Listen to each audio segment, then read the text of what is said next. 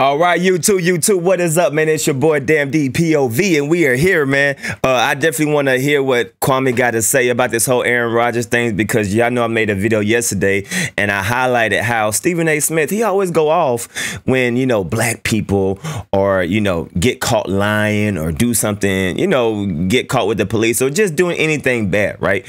When black people get caught, Stephen A. Smith just goes off. He screams, he yells, he he he says that we should be grateful and and stay off the weed. And he makes all these comical you know lines about black people. But when Aaron Rodgers got caught lying he was very calm very cool collective. And you know he didn't really give give that same energy to Aaron Rodgers as he does to the black athletes. So I definitely want to hear what the homie Kwame Brown got to say about this. Let's get it. And I watched it. All right all right all right. Because I gotta go get my hair cut Drinking my tea. Uh, DammnDee asked me to do this video. Salute. And I watched it. All right, all right, all right, man. Hold on, let me uh get to the part where Stephen A. start buck dancing. Because Stephen A. I've just got a question, sir. Mm-hmm. Why is it that when it's the black players, you want a specific answer?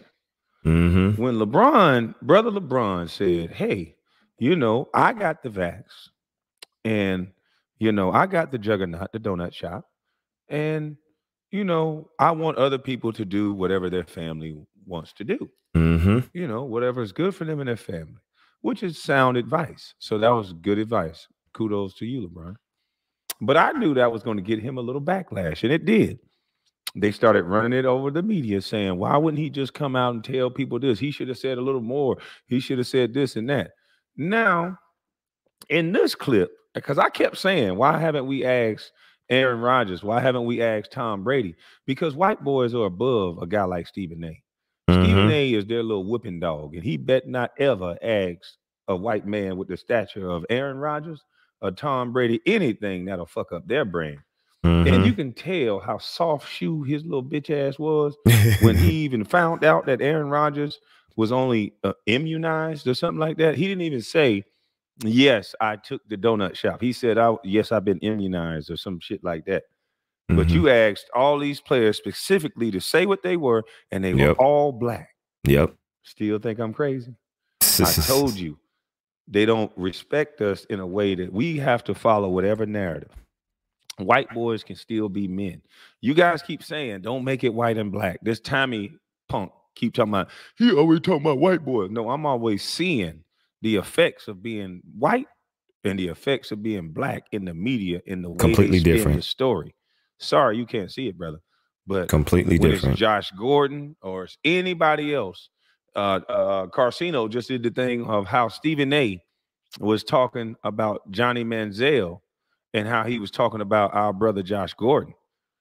Josh Gordon didn't get the benefit of trying to get rehab and trying to get help. Mm-hmm. You said he's smoking weed. You went crazy. You you you acted like you was mad, like you was chastising him. Like back in the day, how the principal, the white principal, used to make the mama come up there and whip the kid ass in front of the principal, in front yep. of the teachers to make them feel better about the way they behave. Yeah, that's what you seem to be doing to these black players because you didn't do that to Manziel. Oh, maybe he just wanted to get out of um, you know, Cleveland. It's sad, but it's sad y'all can't see.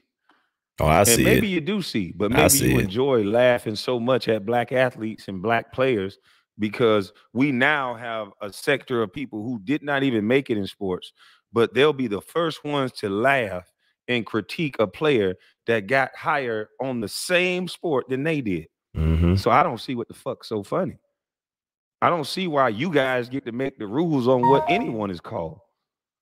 If someone is a bus and you didn't get there, then you just a flop. Or what, what's the lowest? What's lower than a bus? Because I don't get what's going on now. I don't see nobody picking on white players and bringing up their their careers 10 years 15 years down the line Ben Roethlisberger did the same thing allegedly to Sean Watson, and Facts. he's the quarterback, and he don't have that brought up all the time. Nope. He gets to live a full life. He will get to move on from that and be a full-bodied man. A black man get a hangnail or his baby mama say something, and the rest of his life is attached to that. Yep. Are you nuts? Is this is what we're gonna do to all black men? We're gonna find something that he don't do perfect. Because just like Carcino said, and just like everybody else could see, Lamar Jackson has been doing his fucking thing. Does he get the credit that he deserves? Nope. Absolutely not. Because that's not a, a, a- position that a black man should feel. A lot of people think that. And sorry, you don't know that. See, Aaron Rodgers, see, us black males, we're doxxed by our daddy. Look at what all the YouTubers keep saying about me. I was the number one draft pick in spite of my daddy, and those people knew that. They knew what my daddy did. And that's why they treated and negotiated with me in such ways. He don't come from a lineage that we have to respect. See, I should have been thankful I got there. I just wasn't because I earned it. See, you can't tell somebody that has practiced as much as I did, that has sacrificed as much as I did, that told my mama it's okay, I'm gonna buy you a house, and I did it. See, you can't tell me that that's you did it. That was me. See. I don't give a fuck what my daddy did. That don't have nothing to do with me. Every man got their own sin. They're not gonna have me at the pearly gates. Jesus Christ, from what I've been told, not gonna have me at the pearly gates and say you're gonna go with your daddy with whatever he did. No, they're gonna judge me Facts. for what the fuck the works that I do. Facts. And I think I do great works.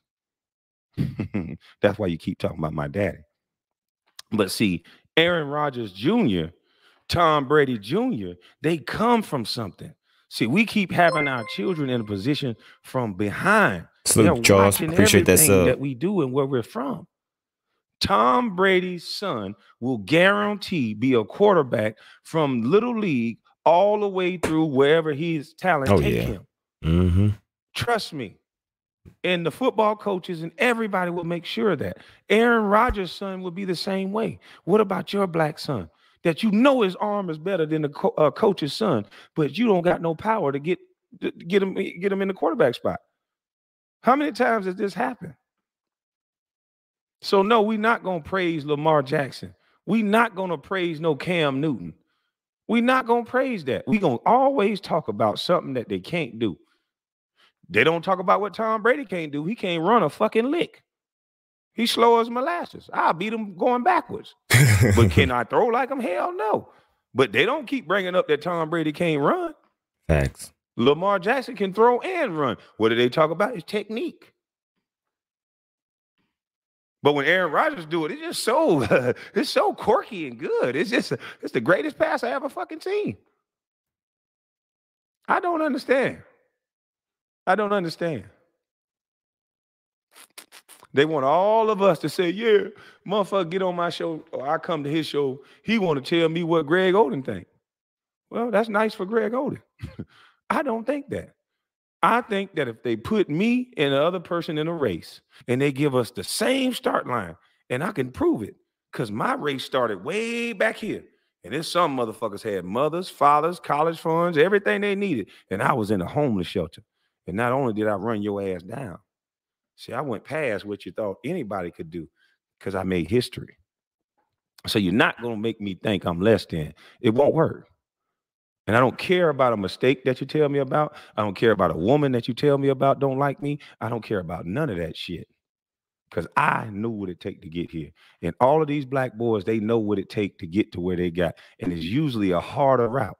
We got to dodge the hood. We got to dodge the police. We got to dodge Facts. bullets. We got to dodge your thoughts and what you think. I got to dodge being fitting the fucking description. I got to dodge a lot just to be a fucking man, a successful man. Then when I reach said success, I owe everything to the God and the black community. Mm-hmm. I got to be a spokesperson for a whole entire fucking race. You talking about pressure to be a man? That white boy ain't have to say he got the vaccination. He didn't even have to say it. Oh, I'm immunized. But you bring up every black player and you make them say they status. And if they ain't do what you say they supposed to do, take his contract, yell, shout, go crazy, act like they owed you something, act like they stole something from you, Stephen A. But let's watch how you talk about these guys. Let's see. Facts. MD, let's see how you talk. facts, facts. Hey, I gotta go. I gotta go. I gotta run some errands. Shout out to Kwame Brown. I'm gonna after I come back and get done from what I'm doing, I'm gonna come back and I'm gonna react to the second part because I think he's going to play my video, man. So uh, I definitely want to hear the second part. But I gotta go. I gotta run some errands. I gotta take care of some business. So I'm definitely gonna react to the second part of him. Uh, I'm guessing he's gonna watch uh, my video and he's gonna react to it. So salute to the homie Kwame Brown. I'm glad he's speaking up on this because I definitely want to hear his perspective. But I gotta go real quick. I gotta go handle some business, and when I come back, uh, I will react to the second part. So other than that, man, it's the boy DammnDee. I don't know how y'all can have a problem with Kwame Brown, man, when when he speaks the truth.